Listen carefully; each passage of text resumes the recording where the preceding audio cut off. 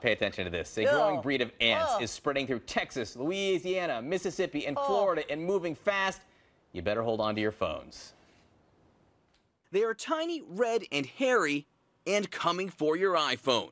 A pack of ants, ugly and ambitious, eating their way across the U.S., invading homes and demolishing electronics. Sound crazy? They are. Literally, crazy. They're known as tawny, crazy ants. They are crazy invasive, crazy smart, and near crazy impossible to get rid of.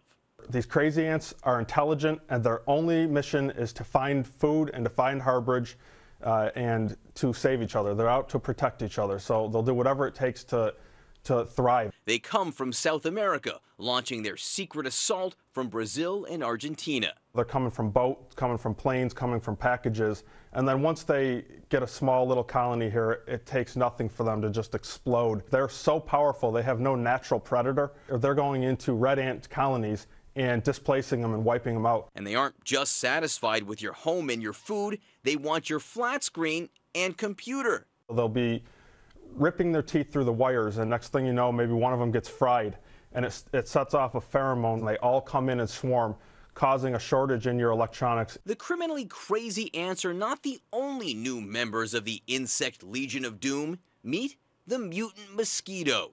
They're the size of a penny, 20 times larger than the basic biters, so big, so bad, they can